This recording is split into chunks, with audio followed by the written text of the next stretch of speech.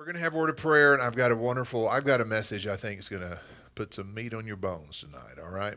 So let's let's pray. Father, this is your house, Lord, and these are your people. And Father, you told Peter, you said, feed my sheep. And so, Father, tonight, that's my prayer. That's my desire that I would feed your flock. They're the sheep of your pasture, Lord. And I just pray in Jesus' name, Lord, that you would Illuminate my mind, Lord. I pray, Father, for freedom and liberty. Help me to speak clearly. Help me to speak accurately, boldly, and, uh, Lord, with, with great clarity, the Word of God tonight. And I thank you for everyone that's here. And I pray tonight, Lord, that this message would change all of our lives. In Jesus' name. And everybody said, Amen. All right. Are you ready tonight?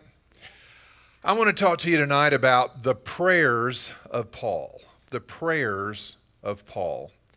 Several weeks ago, I got up and it was on a Friday night, two weeks ago, and I was got up in the middle of the night and I was just praying a little bit. And I was just going, Lord, I am doing everything I can to get close to you, and I feel very close to you, but what can I do to get even closer to you? I want to get even closer to you, Lord, than I am right now. And it was just in my spirit, this came to me pray the prayers of Paul. That came to me. Pray the prayers of Paul. And so I thought, okay, I'm going to pray the prayers of Paul. So a couple of days after that, I sat down in front of the computer and I just began to go through and, and just go with start with the book of Romans. Started reading Romans first and just going through, look at all these different prayers that the Apostle Paul prayed, and then you can actually do a search online and other people have put together PDF files and, and different documents that have the different prayers of Paul. Now, when I talk about praying the prayers of Paul, I want you to think about this. I'm not referring to like in 1 Thessalonians whenever Paul said pray without ceasing. In everything give thanks for this is the will of God. That's an admonition, that's an encouragement to pray, but that's not what I'm referring to. Whenever he said, you know, prayer must be constant in Romans chapter 12, uh, it, it's not, that's not what I'm referring to. Not so much when Paul just admonished people to pray, but specifically, whenever the Apostle Paul prayed, how did he pray? All of us could learn a lot about prayer is if we would just go through the letters that Paul wrote and just say, okay, how did you pray for people? I'd like to learn from you. I would like for you to mentor me. I would like to for you to influence me in this area of prayer. Now, one reason we need to take time to study about Paul's prayers is because everybody in this room, at some point or another in your Christian journey, have prayed for people and thought, Lord, how can I pray more effectively? Right? In other words, everybody here tonight in this service, at some time or another, has said, Boy, I'm praying, Lord, the best I know how to pray. And I know I can pray in the Spirit for them, but as far as in my uh, own understanding, praying for them, I, I just don't know how to take it to another level. So I believe as you study the prayers of the apostle Paul, one of the things you'll do is it'll it'll expand your uh, horizons. It'll expand you in this area of prayer. So let's jump right into it. Now, some of these tonight I'll read it to you in the King James. Others I'll read it to you in the ESV, and we'll kind of go back and forth. Um, but uh, the first one here is Romans chapter 1 and verse number 8. It says, First, I think, I thank, I'm going to start over again. First, I thank God through Jesus Christ for you all, that your faith is spoken of throughout the whole world. For God is my witness, whom I serve with my spirit in the gospel of his Son that without ceasing I make mention of you always in my prayers. So here is Paul, and specifically, he's writing to the church at Rome, and he's saying, I'm so grateful for you. Your faith is spoken of throughout the whole world, and he's, he's so grateful for them. And notice how he prays, making mention, if by any means, now at length, I might have a prosperous journey by the will of God to come to you. So, the first part of this prayer, Paul's praying that I would have a prosperous journey by the will of God to come unto you. So, tonight when we think about praying the prayers of Paul, one prayer I'd like for you to think of is this Romans chapter 1 and verse number 10, whenever Paul prayed that I would have a prosperous journey by the will of God. Now you say, Pastor, why is this prayer important? Is because whenever we think of this prayer, we think about different people that we know that our church supports in missions, people that we know that have more of what we call a traveling ministry, in and out of countries, in and out of locations, ministering the gospel. And, and we wonder, how can I pray effectively for that missionary? How can I pray effectively for that person? We can pray for them. Lord, we believe in the name of Jesus that they will have a prosperous journey by the will of God as they go and minister the gospel. Now, what I like about the word prosperous journey, when you look it up in the Greek language, it means to succeed in business affairs. That's one definition, Strong's. Now, these are Strong's concordance. There's many other concordances, but this is Strong's. So here you have it says to succeed in business affairs. Here's the second definition to help on the road. To help them on the road. Well, people that travel, they need help along the road. They need just somebody to lift them up. That, uh, you know, not only in the road, how many know we need help along the sky, right? If they're flying or however they're traveling. There are many uh, opportunities for accidents and injury and all kinds of calamity whenever people are traveling. And so, Lord, we're declaring they'll have a prosperous journey by the will of God, that, Lord, you'll take care of their business affairs, that you'll help them on the road. And then here's the other definition they will succeed at reaching, in this case, their destination. So, Lord, we're praying over them and we're asking them to succeed in their destination. Not only will they succeed at their destination, hear this, but the people that are going to meet them, if it's a big, big conference overseas, that the people will arrive safely, that they'll get there without harm or injury to them. So, a prosperous journey by the will of God. So, how can you pray for those that are involved in ministry and those that are involved in mission work. Father, in the name of Jesus, we declare boldly today that in the name of Jesus, they'll have a prosperous journey by the will of God and they'll get to their destination. All the business affairs will be taken care of. You'll help them along the road and they will reach their destination in Jesus' name. But notice what Paul said For I long to see you, that I may impart unto you some spiritual gift to the end ye may be established. That is, that I may be comforted, comforted together with you by the mutual faith, both you and me. Notice this. That is, that I may be comforted together with you by the mutual faith, both you and me. You know what he's praying here? That I will will have a mutually beneficial relationship. We call them a reciprocal relationship. That you will meet people that, you know, they'll benefit from their interaction from you and you'll benefit from their your interaction with them.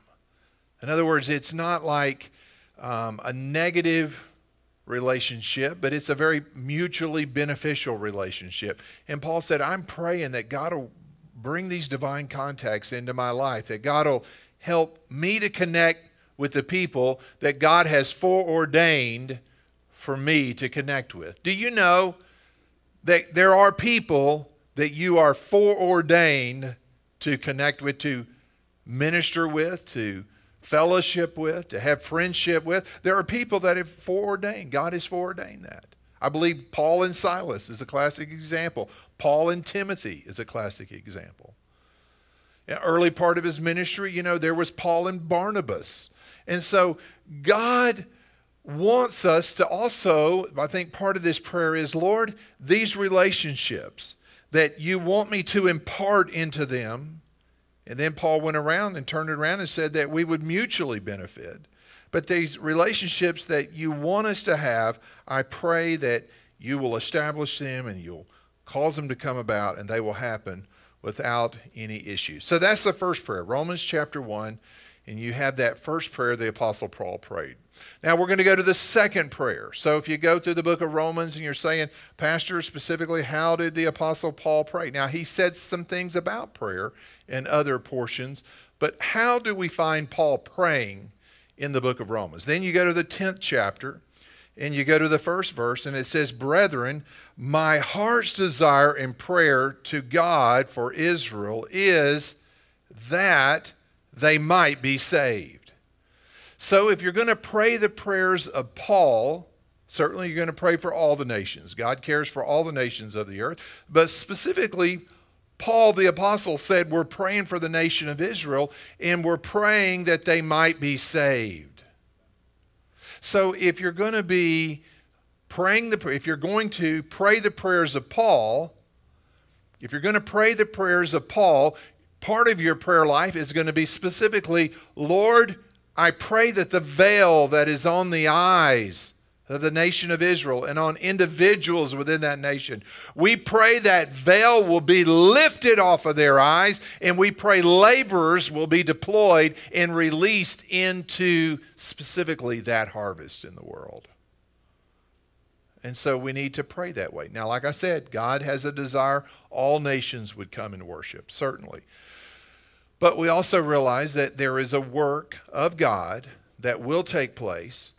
Uh, now it's taking place, but it will also take place in the years that are ahead. It'll take place after the rapture, it'll take place during the tribulation period. We talked about it over the past few weeks whenever the nations, the, the tribes of Israel went to Joseph, Joseph was a type of Christ, and they're looking right there at Joseph. The tribes are looking right there at Joseph.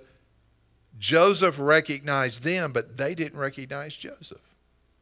It's a picture of the veil that's on their eyes. But there came a time that the veil was lifted off those various brothers and then the message was now go back and tell Jacob that I'm alive. Jacob, of course, is Israel. And so it's a picture of during the, um, during the tribulation, these 144,000 Apostle Paul's, 44,000 Jewish evangelists that will go forth and they will evangelize. But there's still a work right now on the earth that God wants to do in reaching Israeli people, and He wants to bring them to the knowledge of the truth. After all, they gave us the scriptures. Amen. They gave us the Messiah. They gave us, you know, so many, all that we have, the debt that we owe to them. And so we should respond to that by praying specifically, Lord, open their eyes. So if Paul prayed that they would be saved, the implication here is they're not saved. And so we want to pray that they will come to the knowledge of Jesus Christ. So you're going through Romans, the first chapter, and you're praying. The second chapter, excuse me, the 10th chapter, you're praying. And then you go to Romans chapter 15, and you see another prayer the Apostle Paul prayed. May the God of endurance and encouragement grant you to live in such harmony with one another in accordance with Christ Jesus, that together you may with one voice glorify the God and Father of our Lord Jesus Christ. So the prayer that the apostle Paul prayed was is that the Roman believers, the church at Rome, that they would live in harmony with one another. Think about that. Notice verse number 5. That you would God would grant you to live in such harmony with one another. The Amplified says mutual harmony and full sympathy. So here's what we need to be praying periodically Lord, we pray for harmony. We pray for unity. We pray for people to be in one accord. You know, God doesn't want the body of Christ to be in discord. How many know God wants the body of Christ to be in one accord? Okay? So that is the plan of God is that we would pray over situations. When you see strife, you speak harmony. When you see discord, you know what the devil wants to do? The devil knows that every house that's divided against itself will not stand. He knows that a city divided against itself will not stand. He knows that a nation divided against itself will not stand. And so the devil's constant goal is to bring strife, discord, disharmony. He's going to work all ways to bring strife. Now we know the manifestation of the Holy Spirit is peace. God is not the author of confusion, but He's the author of peace. You want me to tell you what the manifestation of the devil is? Strife. I mean, when he shows up, it isn't long before people start getting out of sorts with one another, people get offended at one another, and, and the enemy brings discord. You see, when people are in discord in their home, prayer is limited. Paul said, you know, you got to treat your spouse, or P- Peter rather said, Peter said that you should treat your spouse, honor her as a weaker vessel, lest your prayers be hindered. You see, if there's strife in a home, it minimizes our effectiveness on so many levels. So we need to be praying on a regular basis Lord, we speak harmony in the name of Jesus. You know what's interesting? When you go through the prayers of Paul, you don't see Paul saying, and Lord, pray for Jim because Jim needs you know, this individual need or that individual need or this is going on over here. In some ways, he covered bigger pictures. He didn't just cover like the day to day. Sometimes we're dealing with these little day to day things, and he's praying kind of the bigger picture is not this day to day deal. It's the bigger issue that needs to be dealt with. There needs to be love, there needs to be harmony, there needs to be sympathy, compassion towards one another. Those are the things that we need to be keyed in on. So, how can we pray? The prayers of Paul, one prayer that we can pray is we speak harmony over situations, harmony in homes, harmony in marriages, harmony in this nation. And so you say, Pastor, is that possible? Well, where the gospel goes, there is a peace. And so we need to pray really for people to get reconciled with God because I've discovered this, and I'm sure you are aware of this. When people get right with God, have you ever noticed it's a lot easier for people to get right with other people? But when people aren't right with God, um, it's hard to convince somebody that has hatred in their heart to walk in love because it's so counter to what's in them. So when people get right with God, it's easier for them to get right with other people. Okay? So here's another prayer. Now, I really like this one. Romans chapter 15 and verse number 13. We're praying the prayers of Paul tonight. We're praying the prayers that the Apostle Paul prayed. And I want you to notice this Romans chapter 15 and verse number 13. May the God of hope fill you with all joy and peace in believing, so that by the power of the Holy Spirit you may abound in hope. So we're thinking about all these prayers that Paul prayed, and I must say, I love this one. Because, you know, as I think about different people, even in this service tonight, that they're facing challenges in life. They're facing difficulties. You know, they would say, Pastor, I'm standing for this. I am believing for this. I'm expecting change over here in this area of my life. Well, they're believing. Do you know while people are believing God for things to turn around and change, if they're not careful, they have run out of joy and they've run out of peace. But do you know the Bible doesn't say, you know, that when you get the answer, you should have joy and peace. The Bible says the God of hope wants to fill you with joy and peace while you're believing Him. So how many how many here tonight? You say, Pastor, I'm believing for some areas to change in my life. I'm believing for some areas to improve in my life. Okay, we're going to vote again.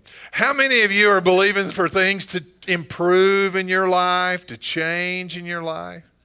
Okay, some are putting up two hands, so we're back on track now. Okay.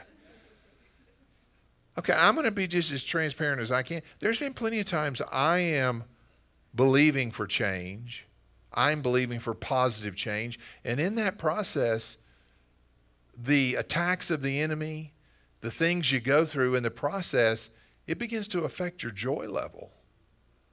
It begins to affect your peace level. And all of a sudden, you know, while you're standing and believing and contending over God's word, you're kind of sharp or you're kind of like a you're spiritually got a flat tire, so to speak. But what Paul prayed for people is they would be filled with joy and peace in their believing. I got a hold of this last week and I was just thinking, that's a great way to pray for people. And Sharon and I were talking about a situation that we were both praying over and and you know, we could tell that it was it was kind of heavy on her. And I just sent her a text message and I said, Sharon, I just want to let you know today I'm praying that God will fill you with all joy and peace while you're believing Him. And she responded back, That's good. You know. Hey, that's how Paul prayed for people. If you're going to pray the prayers of Paul, pray, God, fill them up with joy and fill them up with peace. Wouldn't it be wonderful if everybody's home just had joy and peace in it? Well, that's the way we're to pray. We're praying the prayers of Paul. Can I tell you, this message will be just as relevant one year from now, two years from now, 10 years from now, 50 years from now, if the Lord tarries, as it is tonight. Because, see, it's the eternal Word of God. This is never going to change. So, a good, relevant way for you to pray for people Lord, fill them up with joy, fill them up with peace while they're believing the Word of God. So that by the power of the Holy Spirit, you may abound in hope. Now, I have all these scriptures and I can print them off or email them to you or get them to you some way, but I think they're just a wonderful way to pray. I've been just in the mornings praying and I just, you know, think of different people. I'm just looking over these scriptures and I think of different people. The thing that kind of touches me about the Apostle Paul is you're going to pray the prayers of Paul. He didn't spend a lot of time praying for Paul, he spent a lot of time praying for other people. And one advantage of having these prayers out like this is that it'll stir you to just spend more outward minded. You're more others minded and you're thinking beyond where you're at. And so you're praying. Now, Romans chapter 15. Here's a prayer that Paul prayed. I appeal to you, brothers, by our Lord Jesus Christ and by the love of the Spirit, to strive together with me in your prayers to God on my behalf so he's obviously talking about prayer here, that you would strive together with me in your prayers to God on my behalf. So he's saying, pray. That I may be delivered from the unbelievers in Judea. Now, I said you don't see Paul soliciting prayers a lot for himself. He did pray in Romans 6. He asked the people to pray that God would give him boldness to preach the word of God. And in this case, he said, Pray that I would be delivered from unbelievers in Judea. So, whenever I pray for other people, you know what it does? It puts a hedge of protection around people. It puts a supernatural hedge. The Lord will keep you. Psalm 127. He says, I will keep you from all evil. The word keep there in the Hebrew, it means to guard, to attend to, to protect. It means to have charge of, and it means really to hedge around you as with thorns. So it's a picture of God has a hedge of protection. And you know, through our prayers, we can pray that people will be delivered from the unbelievers in Judea, that my service uh, for Jerusalem may be acceptable to the saints. So the prayer was kind of twofold. One is that I'd be protected from this hostile spirit that is so hostile to the gospel. And secondly, that my service for Jerusalem would be acceptable to the saints, that my ministry would be received, that my ministry would, you know, be a blessing, we would say, that people would get something out of what I say. How many know if we're going to minister, we might as well bless people, right? I mean, it might as well be, uh, Lord, help me to have your voice and your words, and that I would speak the oracles of God, and that what I say would be uh, helpful and beneficial and edif- it'd be edifying to the people. May the God of peace be with you. So one of the things you see that Paul prayed in his prayers, it was this this kind of a standard prayer of blessing that they would be filled with peace, that they'd be filled with the grace of the Lord Jesus Christ would be on them. And so I think it would be helpful, and we'll get into that as we get into some of these other scriptures. But it's a picture where Paul was constantly praying, Lord, that they would that they would just have your their the grace of God would be on them no matter what. Now, I'm going to jump over to 1 Corinthians chapter 14. Now, there's another prayer in the first chapter, but let me, in the interest of time, hit on this one. 1 Corinthians chapter 14 and verse number 13. Notice this is a prayer. This is how Paul said pray. It says this Therefore, let him that speaketh in an unknown tongue pray that he may interpret. So, Paul specifically said if you're going to follow the prayers of Paul and you're going to find out how Paul prayed, let him that prayeth in an unknown tongue pray that he may interpret. For if I pray in an unknown tongue, my spirit prayeth, but my understanding is unfruitful. So, the thing that Paul said is, I want you to pray that if you speak in tongues, that you would interpret what you're saying. So, everybody that's in the service tonight that prays in the Spirit, part of your prayer time needs to be Lord, help me to interpret at times what you're what I'm praying out in the Spirit. Now, that doesn't mean it's verbatim. Every time you pray in the Spirit, there's going to be an interpretation of that. But there needs to be more than what's going on right now, okay? And I think sometimes, you know, we think, well, I don't have that gift you have it on an individual basis. You may not necessarily be utilized in a public forum, but I think more people would be used in a public forum if they were just willing or if they would just, you know, be open to that. But notice this it says this let him that speaketh in an unknown tongue pray that he may interpret. I just wonder how many people in the body of Christ have never prayed that prayer. Yet Paul said, pray this prayer. I just wonder how many people in the body of Christ that pray in the language of the Spirit have never really stopped to say, Lord, I'm asking you to give me the interpretation. In my own life, I know that that's happened to me on many occasions. You say, Pastor, how does that look? How does that happen? In my case, many times as I'm just praying in the Spirit and I just spend time praying in the Spirit, I just find myself shifting over into English and I find myself praying along a certain line. And many times I just know intuitively what I have been addressing in the Spirit language, in the language of the Holy Spirit, now I'm addressing it in English. And so it's not always like a stop, you know, thus saith the Lord type moment. It's more of just an easy transition to where you're praying in the Spirit over a situation, and then you just find yourself, yeah, yeah, Lord, I'm praying over this, or I'm praying over that person. So many times, whenever we're praying in the Spirit, God brings people to our minds.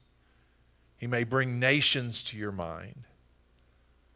I know one young man got up one time and he was testifying and he was talking about, you know, I've I've been to this country. And he was naming countries in the Middle East like Iraq. I've been to Afghanistan. I've been to Pakistan. I've been, you know, and he was mentioning all these countries. And I'm looking at the guy and I'm thinking he's not really, I don't think he's 21 years old. And I'm kind of going, you know, I'm kind of thinking there's probably a backstory here because I don't know that he's traveled to all these countries. And he stopped and he goes, Oh, yeah, I didn't travel there physically, I traveled there in prayer.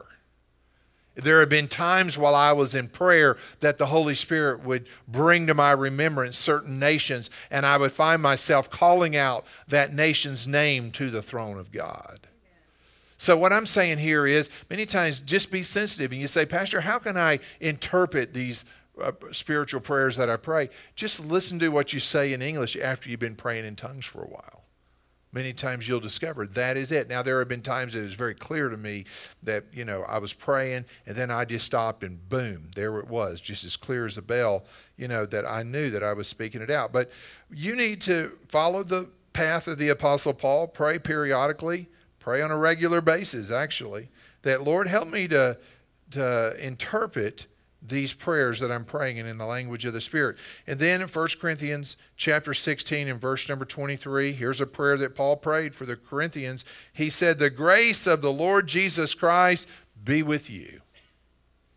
Now somebody says, Oh, Pastor, the grace of the Lord was already with them. Well, how many know you could have you could take a little bit more? Amen. You know, I said this Sunday morning, I know you're blessed, but you know, you could get more blessed and God's grace is on your life, but it's all right. You could have more of His grace. And so, as we go through the writings of the Apostle Paul, we're going to see these different ways that he prayed. Now, 2 Corinthians chapter 13 and verse number 7, it says this. Now, this is a prayer how the Apostle Paul prays. So, we've covered Romans, we've covered some over in 1 Corinthians. Now, we're in 2 Corinthians chapter 13. Now, we pray to God that you will not do anything wrong. I mean, that's a very ambitious prayer. I'm praying to God that you would not do anything wrong, not so that people will see that we have stood the test, but so that you will do what is right, even though we may seem to have failed. In other words, you living a godly life will be a great advertisement. It'll be a great witness. It'll be a great influence in the world for God. Now, you know, full out. There's a lot of people, they, they talk it, but they just don't walk it, right?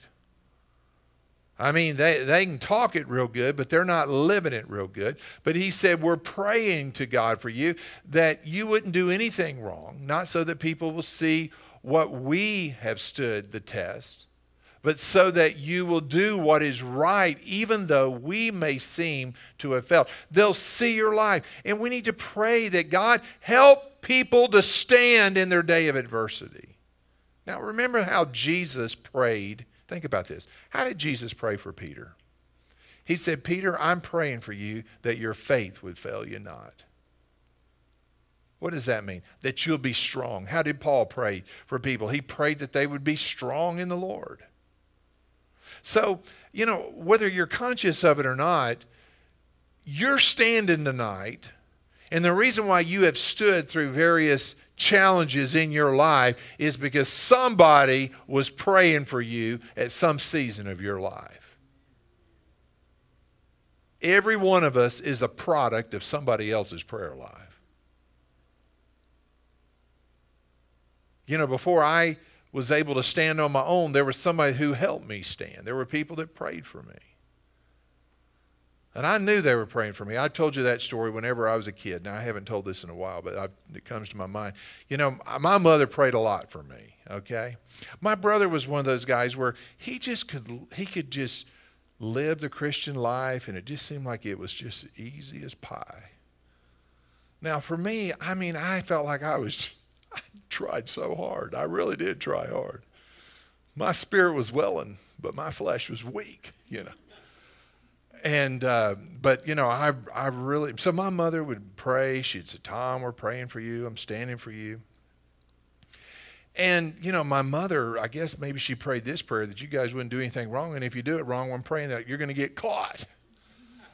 But I've told this story how my mother, she really didn't want us to listen to. She wanted us to listen to Christian music. She didn't want us to listen to secular music. She'd say, Oh, that music, you know, it's not going to be good for you. You're going to be influenced in the wrong direction. So she was real emphatic. I want you to listen to Christian music. Well, my brother and I, you know, we'd listen to some Christian music, but I tell you, we kind of like that. We kind of like that secular music too. You know, we weren't all sanctified. So we had we had these back in the day. We had these two eight tracks. Okay, I'm dating myself. Y'all know what eight tracks were? I mean, we had these two eight tracks, and um, my brother said, "Tom, where can we hide these that Mom will never find them? Where can we hide them?" And we both had this. It was a genius idea, and that was this: we said, "Let's take these tapes and let's put them in the closet." And in the, you know, in the summertime, how you wear all your winter coats are way back in the back of the closet. So we had these big, these coats in the back of the closet. And Forrest said, what we'll do is, is we'll put them in the pockets of those coats. She'll never find them. So one day, uh, we came home from school one day, and my mother, she met us and she said, You know, I was praying today. I can still, I'm telling you, those were her words. I was praying today. And we're like, okay, you do that every day.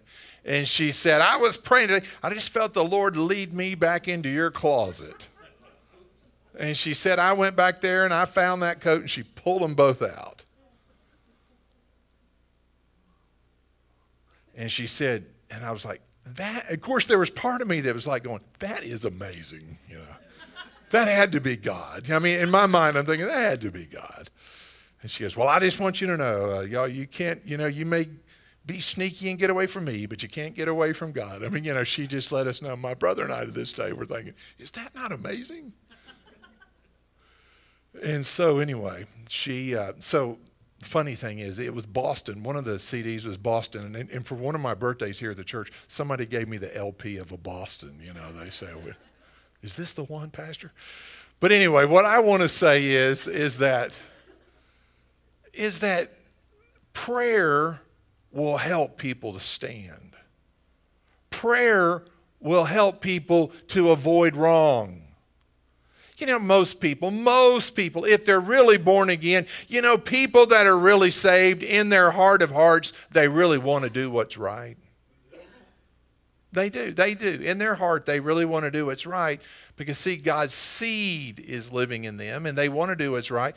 But what happens is, is their spirit is willing, but the flesh is weak. And so he prayed for them that they would be strong and that they would do what is right. Verse 9, we are glad whenever we are weak, but you are strong. Notice this. And our prayer is that you may be fully restored.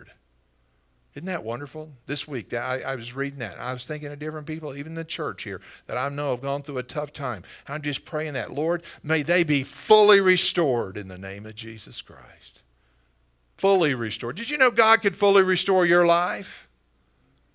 He said, I'll restore back to you years that the enemy has stolen in Joel chapter 2. And so God says, My prayer is that you'd be fully restored. He can fully restore your health. He can fully restore your finances. He can fully restore your marriage. He can fully restore your life then we need to stand on that and, and pray that and, and be determined to pray that way. Now, notice Galatians. So we're going now into the letters Galatians, Ephesians, Philippians, Colossians, right? These letters that Paul wrote. Galatians. So we're talking about the prayers of the Apostle Paul. What are the prayers that the Apostle Paul prayed? Galatians chapter 4 and verse number 19. It says, My little children, for whom I am again in anguish of childbirth until Christ is formed in you.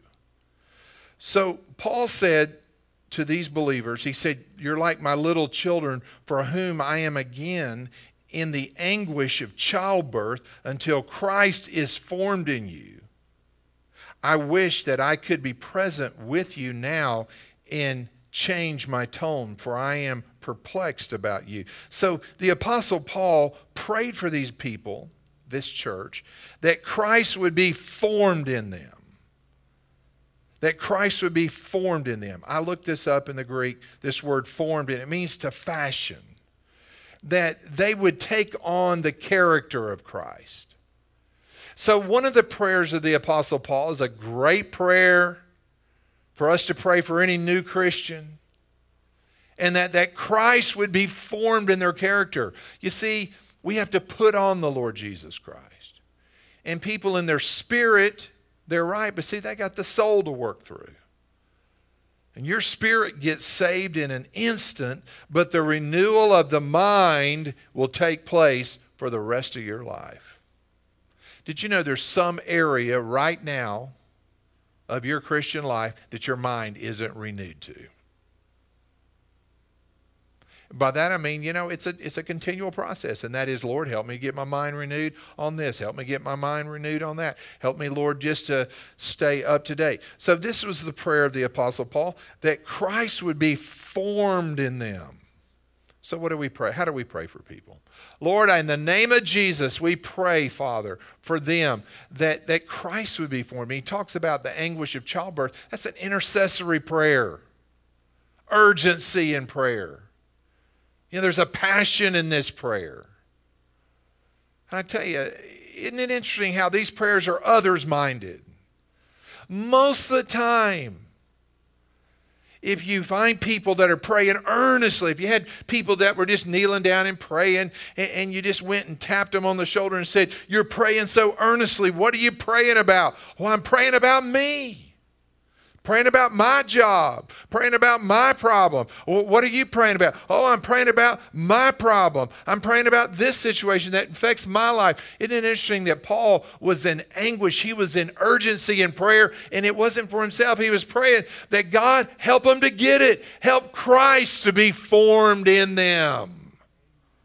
So, what do I need to do? Do I need to sit around and just uh, criticize people?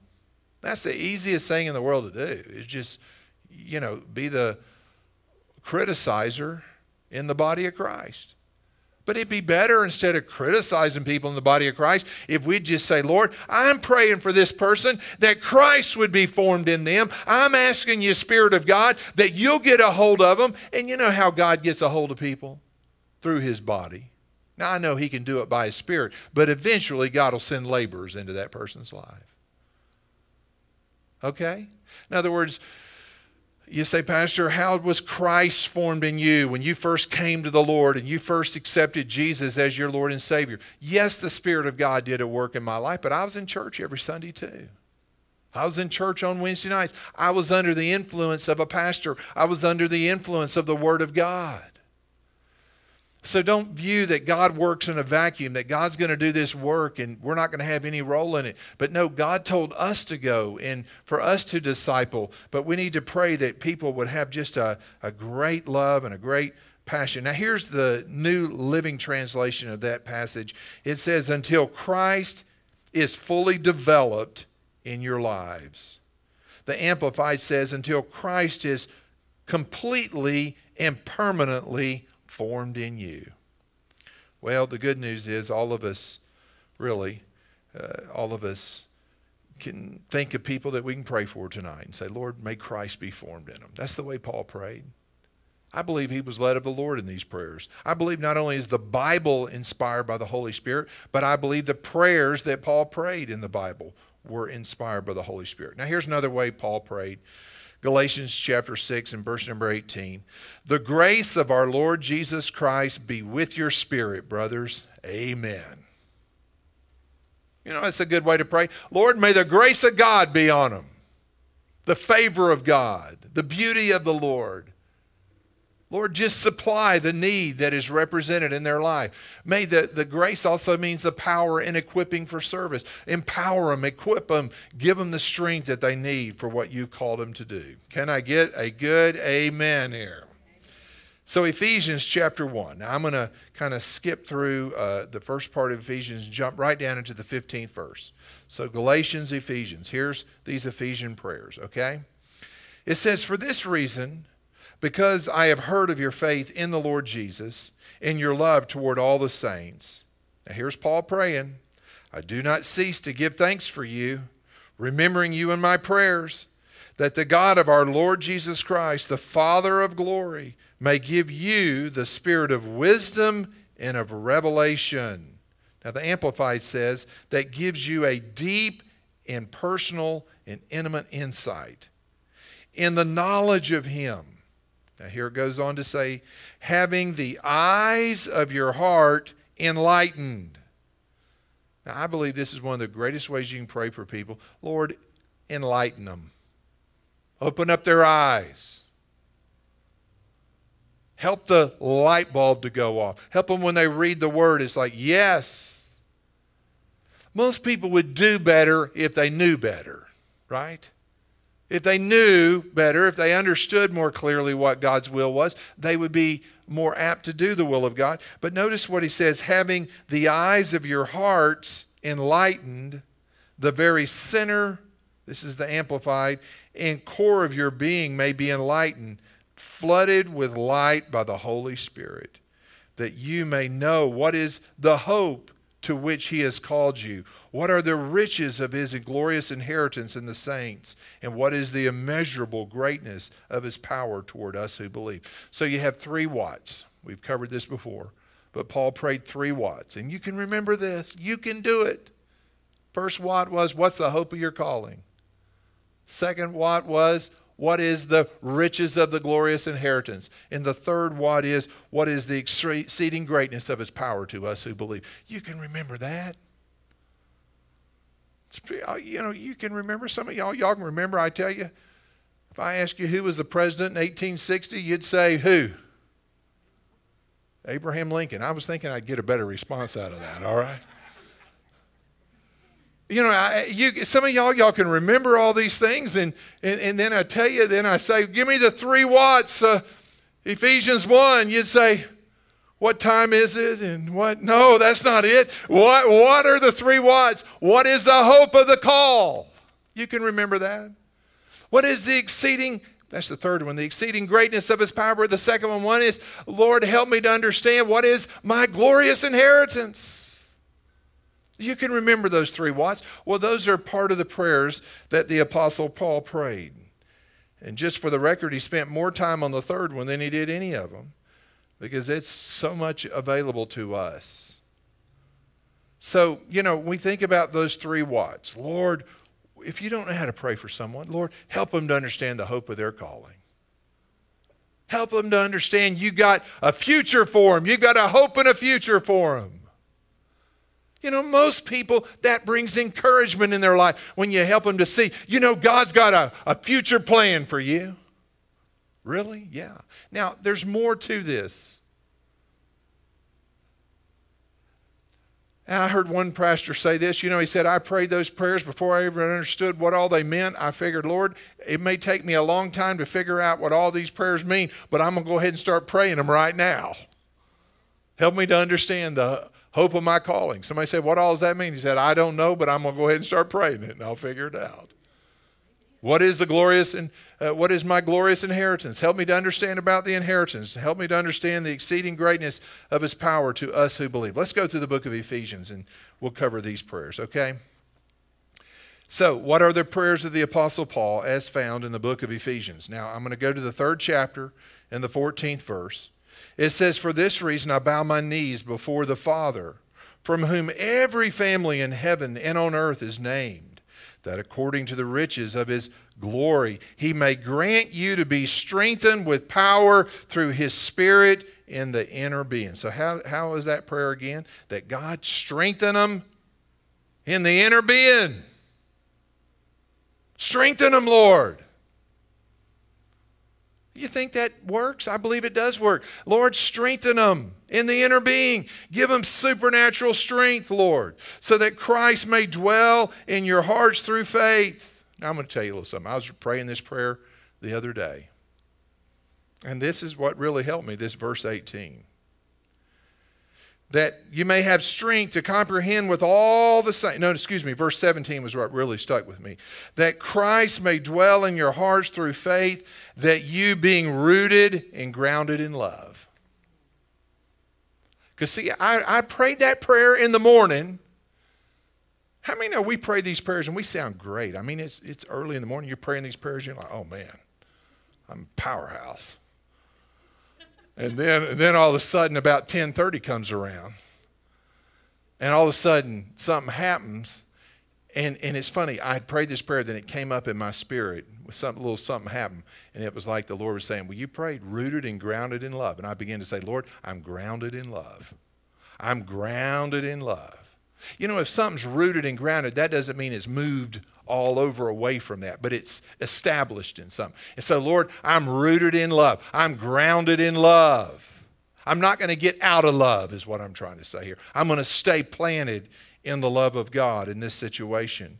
May have strength to comprehend with all saints what is the breadth, the length, the height, the depth, and to know the love of Christ that surpasses knowledge, that you may be filled with all the fullness of God.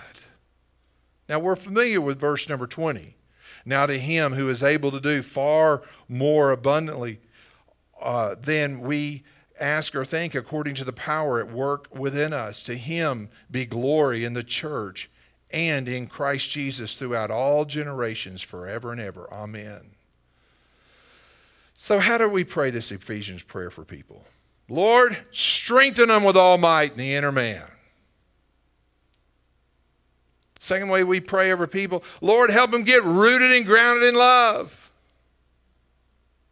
Help them to comprehend with all the saints. Help them to see the breadth, the length, the height, the depth. Help them to know the love of Christ that surpasses knowledge.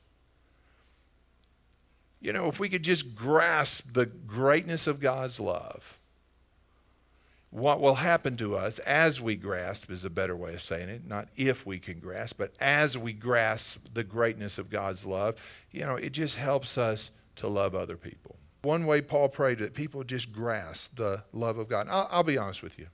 I know in this service tonight, there's a lot of people, you say, Pastor, I've been in church a long time, and praise God for that. But I, am going to be real honest with you.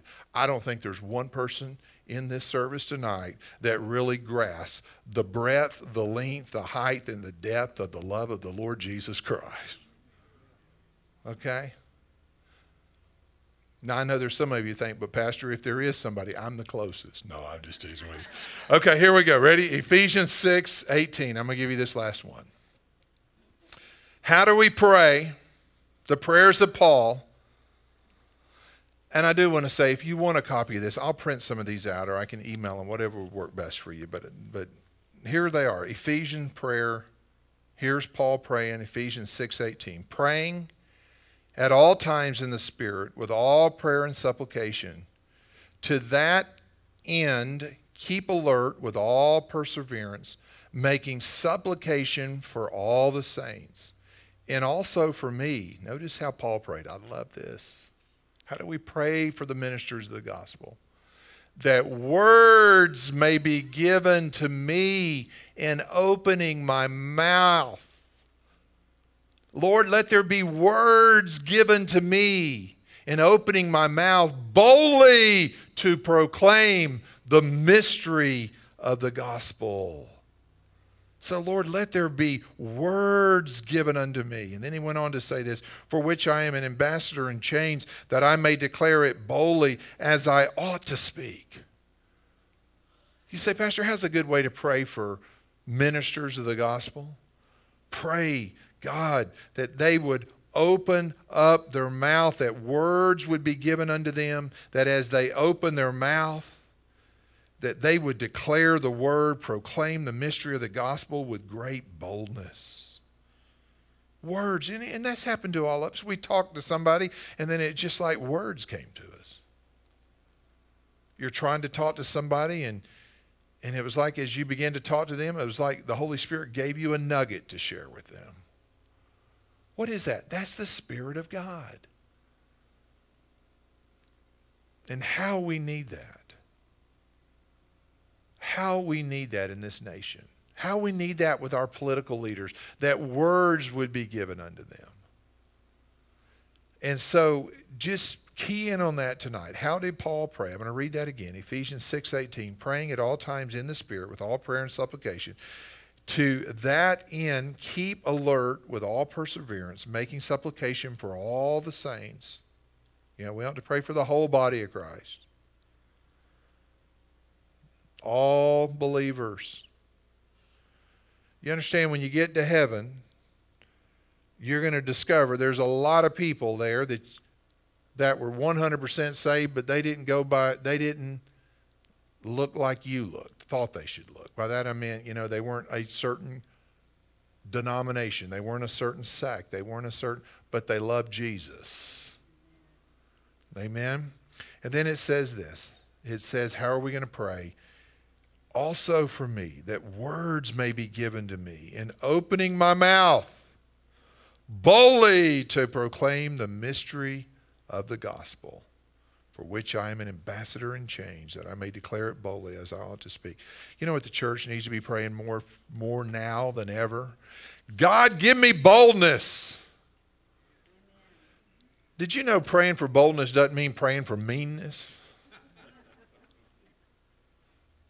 Have you ever met people, they were just bold as a lion, but they had a smile on their face and they just, praise the Lord. And people's like, oh my Lord, here they go. Y'all, boldness is whenever we're saying, you know, there is one mediator between God and man, the man Christ Jesus. Boldness is the Bible teaches marriage is between a man and a woman. Boldness is whenever you're able to say, all scripture is given by inspiration of God. It's the Bible is God breathed.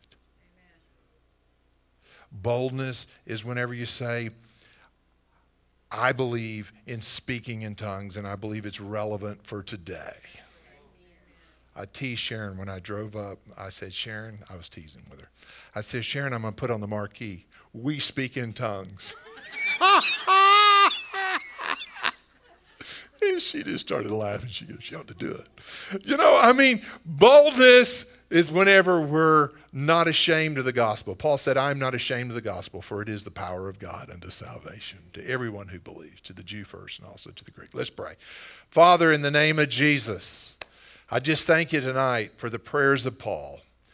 And Lord, as we journey through this passage and as we just spend time talking about the prayers of Paul, that Father God, we will we'll be inspired along these ways. And Father, we just pray in Jesus' name, Lord, that we will do our part to pray the prayers of Paul. In Jesus' name. And everyone said, Amen.